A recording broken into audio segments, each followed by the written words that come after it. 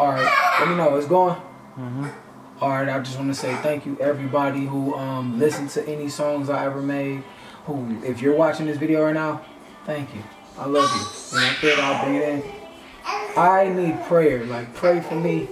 I have adversity. I am an African American. You people don't understand. Like we're experiencing all type of trauma every day because of disadvantages in society in America. And God bless all the coronavirus victims.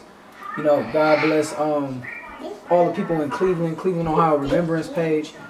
And um, as far as all that Illuminati information that I'm um, externalizing and distributing through my platform, I mean all of that. William Cooper, Fritz Springmeyer, Steve Cokely, um, um, Kent Hovind, you know, um, what's his name? Um, John Todd.